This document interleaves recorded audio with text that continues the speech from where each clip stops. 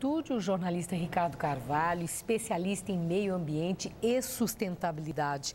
Bom, Ricardo, mais uma referência para as pessoas que querem é, que, que, que, que, desejam realmente essa preservação do meio ambiente e com um instrumento muito importante, né, que é o poder de compra. Então, comprando só produtos que tenham o selo verde, está é, tá estimulando o respeito ao meio ambiente. Isso é muito interessante né, para a própria cidadania. E é mais uma prova da importância do consumidor na hora H, na hora que o cinto aperta é o consumidor que vai dar as cartas, está dando e tem que dar as cartas em tudo que tem que preservar o meio ambiente e que vai para a prateleira. É o consumidor que tem que se conscientizar para escolher melhor, Maria Lídia. Agora, isso, né, essa, essa, essa força, né, está sabendo de é, eu só compro produto de quem não explora mão de obra uhum. infantil. E isso é um, uma adesão a um novo conceito de responsabilidade social. E chamou a minha atenção esses dias a decisão de três grandes redes de supermercados, isso. o Walmart, o Pão de Açúcar, Carrefour. Carrefour. Também o Carrefour, de não comprarem carne de frigoríficos que distribuem a carne de, da, das regiões né, que são desmatadas lá da Amazônia, quer dizer, que não respeitam a preservação ambiental. É, é uma atitude muito importante dessas redes. É uma decisão histórica dessas redes.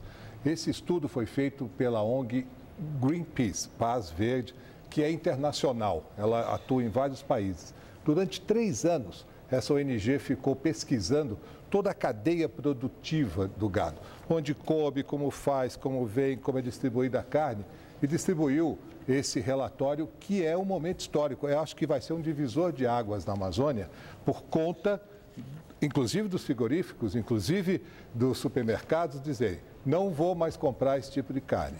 É uma decisão histórica. Mas agora vamos avançar mais um pouquinho acho que cabe a esses supermercados colocarem na carne que não é proveniente dessas, de, desses frigoríficos que devastam a Amazônia, um selo verde, que eu vou chamar de selo verde do boi, sei lá, mas precisa ter... A identificação. A identificação para que, ok, tomou a decisão, tudo certo. E na hora da compra, na hora ali da prateleira, qual é que eu compro? Qual que não vem? Qual que vem? Eu acho que os supermercados podem dar mais um passo colocando esse selo verde do boi é, no, no, plástico que cobre as carnes. É fundamental isso também, Maria Lídia. E, e isso aumenta o diferencial dessas redes de supermercado em relação às demais que não estão nem aí para sustentabilidade. Olha, com o tempo, ou todo mundo entra nessa coisa da sustentabilidade, ou as empresas vão perceber, inclusive que não tem outro caminho.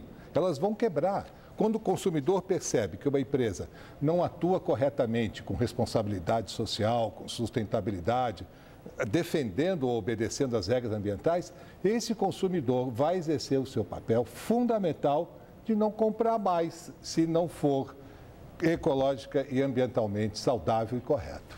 Bom e velho boicote. É bom, faz bem à saúde cuidar do planeta. Obrigada, Ricardo. Uma Obrigado. boa noite. Boa noite.